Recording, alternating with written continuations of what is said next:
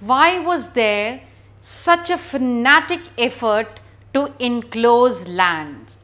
That is the major question that one must ask and in the 16th century we have already seen that actually the prices of wool went up in the world market and that is why this movement started of enclosing land. But here the picture was very different.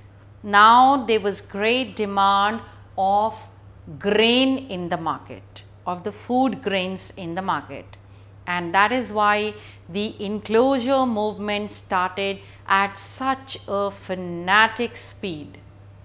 First of all, the grain production had to be increased to meet the needs of the people and for that they needed to enclose more and more land.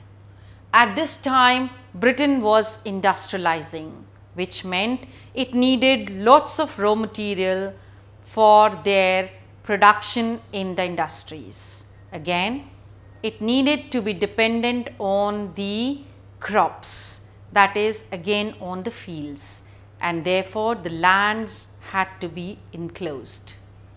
Well, there was a steep rise in the urban population which meant that lots of people had to be feeded with food.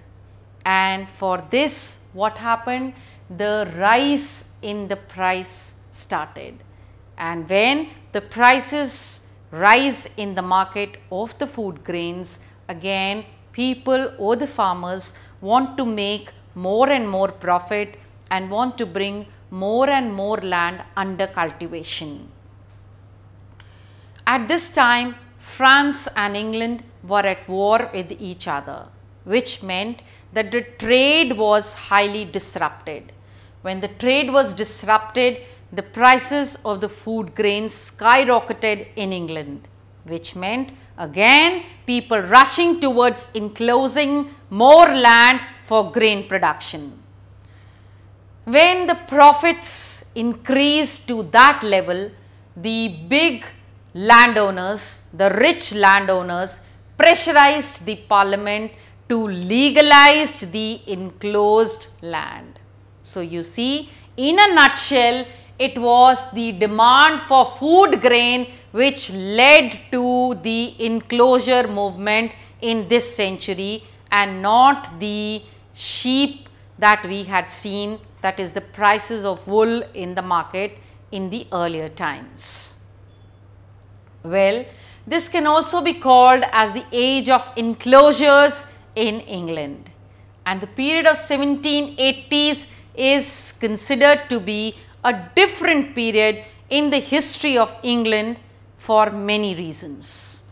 We see that in the earlier times, whenever the population used to increase, there used to be shortage of food grains. That is, the production or the agricultural production could not meet the needs of the rising population.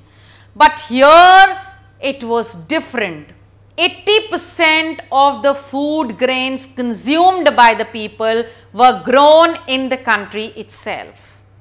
And remember, it was not due to any agricultural innovation, not due to any agricultural new implements, not due to any pesticides. It was just due to one big change that had come and that was the enclosing of land, bringing more and more land under cultivation. I'll talk about it in the next clipping.